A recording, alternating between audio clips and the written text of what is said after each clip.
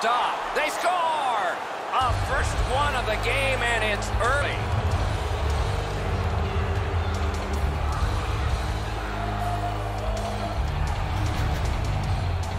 I got to tell you, Doc, any chance I had to go to the backhand, I did. This shot just overpowers him. He's in right position. He stops a big chunk of it, but not enough as the puck's in the goal.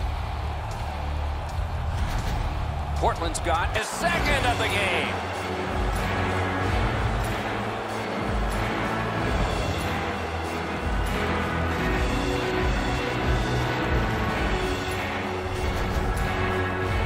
Johnson's wrist shot was heavy and quick. It looked to me like he had stopped this shot. He had a big chunk of it, but it worked its way into the net.